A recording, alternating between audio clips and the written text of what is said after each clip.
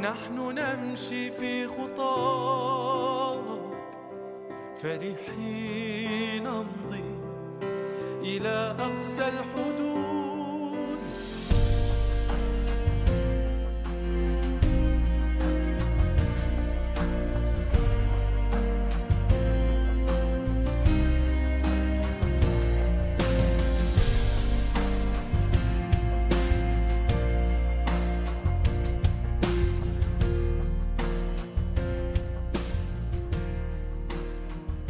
Názáret városa alsó Galilea hegyei között található. Ez a legnagyobb és legfontosabb palesztin város a térségben. Názáret ősi kánaánita nyelven Ábel.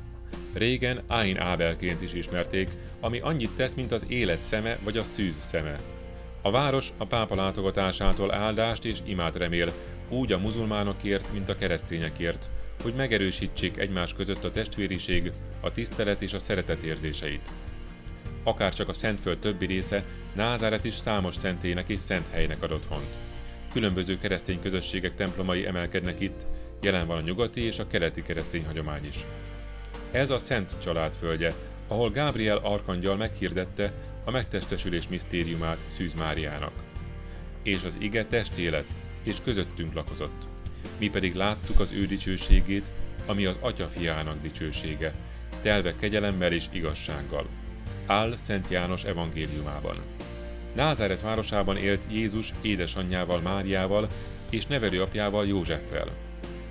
Benedek pápa szakadékhegyén mutat be majd Szentmisét a város déli részén. A hagyomány szerint a názáretiek innen akarták letaszítani Jézust.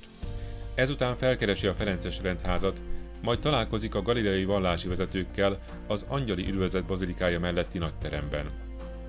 A bazilika 1960 és 1969 között épült azon a helyen, ahol a szűz háza állt. A templom alsó szintjén látható Mária grottája, ahol az Istentől küldött Gábriel arkangyal átadta az üzenetet. Fiút fogan, és a Jézus nevet adja majd neki. Egy színes mozaikokból álló sorozat is kiállításra került a bazilikában, amely a Szent családot ábrázolja. Második János Pál zarándoklata során 2000. március 25-én az angyali üdvözlet főünnepén mutatott be itt szentmisét. Benedek pápa vesperást imádkozik a templomban mindazokkal együtt, akik Péter utódának üdvözlésére egybegyűltek. Fohászkodnak a békéért és a szeretetért azon a helyen, ahol az iget testé lett, értő.